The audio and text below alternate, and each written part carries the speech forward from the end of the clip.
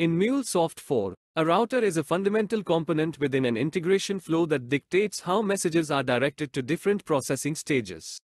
It acts like a decision point, analyzing messages and routing them based on specific criteria. Here's a breakdown of what routers do. Conditional routing. Routers evaluate messages based on conditions defined using DataWeave expressions.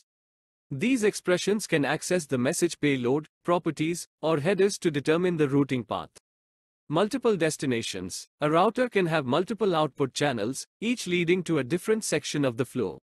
This allows for flexible message processing based on the evaluation outcome. Flow control. Routers enable you to control the flow of messages within your integration application. You can implement branching logic, parallel processing, or error handling scenarios using different router types.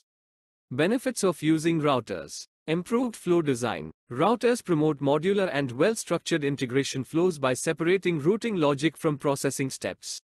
Flexibility. Different router types cater to various routing needs, from simple content-based routing to complex multipath scenarios. Error handling. Routers can be used to direct messages with errors to specific error handling routines for proper management. Types of routers in MuleSoft 4. MuleSoft 4 offers a variety of routers to address different routing scenarios. Here are some common ones. Choice router. The most fundamental router, it evaluates conditions and routes messages based on the first successful match. Round-robin router distributes messages across multiple destinations in a round-robin fashion, ensuring even load distribution. Scatter-gather router enables parallel processing by replicating the message and sending it to multiple subflows, later collecting and aggregating responses. Recipient list router routes the message sequentially to a list of predefined destinations, typically used in Mule 3 but still available in Mule 4. Understanding DataWeave in routers.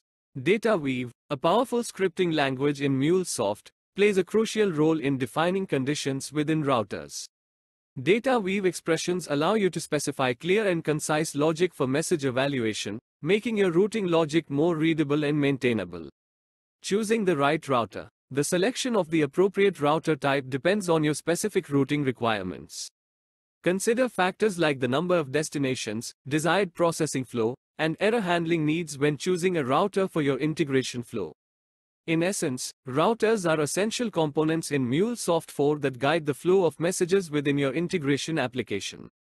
By understanding different router types and their functionalities, you can create well-structured and efficient integration flows that process messages based on their content and your design goals.